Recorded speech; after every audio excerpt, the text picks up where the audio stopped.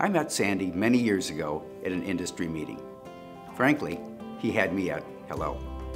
It's pretty hard not to like Sandy. He loves to smile, and that draws everyone in. Good relations have always been important to Coke, so Sandy was an excellent choice to represent the company. It was in the early 2000s that I got to see another side of Sandy. Various groups had sprung up to synchronize data for the industry. I was quite puzzled why various groups were trying to provide a single source of the truth. Fortunately, Sandy agreed with me. Eventually, we merged the groups into what is now GS1. This may sound simple. It wasn't. I truly appreciate Sandy's leadership and tenacity. Putting the groups together was tough going. That wonderful smile was put to good use. I consider Sandy to be a great friend.